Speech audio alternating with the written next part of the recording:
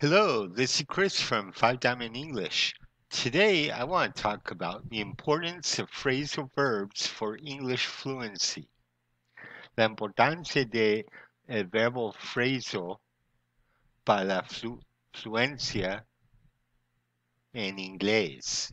Okay, we're going to take a look at run as a phrasal verb today.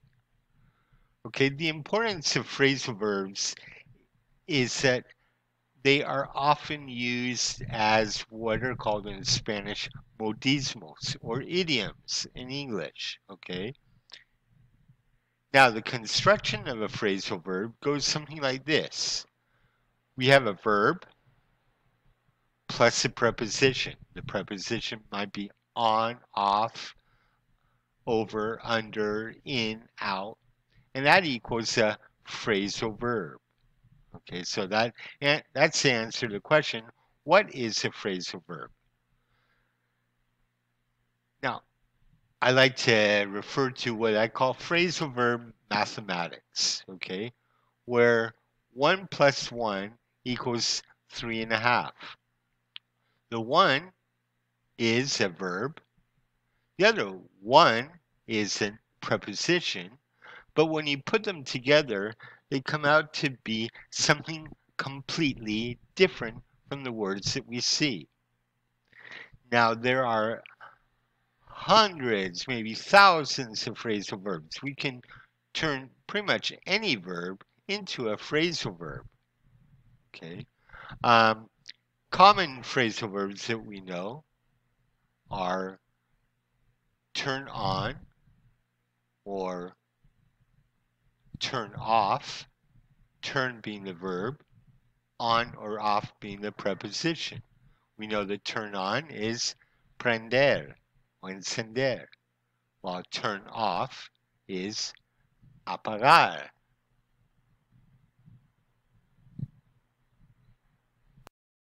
Again, these are pretty common phrasal verbs. We learn them in, even at a beginner's level. Okay. Um, let's take a look at another verb. By the way, turn, what is turn? Turn is voltear, girar. Okay, when we put them with on or off, the meaning changes. It no, has no longer nothing to do with voltear or girar. Okay, the meaning changes completely. Let's take a look at another verb used as a phrasal verb. Let's take a look at run. Okay, well, we know that run is correr, right? But what happens when we change it into a phrasal verb? Well, there are a lot of phrasal verbs that we can create out of run. Run up, run down, run around, run over, run out of, and the one we're going to look at today, which is run into. Okay, run into is a very common phrasal verb and it shows very well how the meaning of it of a phrasal verb can be completely different from the individual words. So what is run into? Well, run into can be physical, like run into the building, correr hacia dentro de un edificio, run into. But run into can also be chocar. The baseball players ran into each other. Okay, you can see here, ooh, they crashed. Run into something can be to crash. Okay, chocar. The baseball players ran into each other. Now, another meaning can be to see somebody that you do not plan or expect to see. Okay. I always run into somebody I know when I go to the supermarket. That means every time I go to the supermarket, I see somebody I know.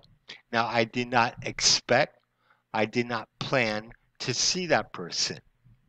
It was unexpected, it was unplanned. Okay. It may be a student, somebody I work with, a neighbor, a friend. Okay. but it is unplanned. So run into can be un encuentro no esperado. Okay, so that is an example of the importance of run, run into, and phrasal verbs in general. Using a phrasal verb can greatly increase your fluency and also to increase your ability to sound like a natural English speaker. Well, I'll see you soon. Until next time.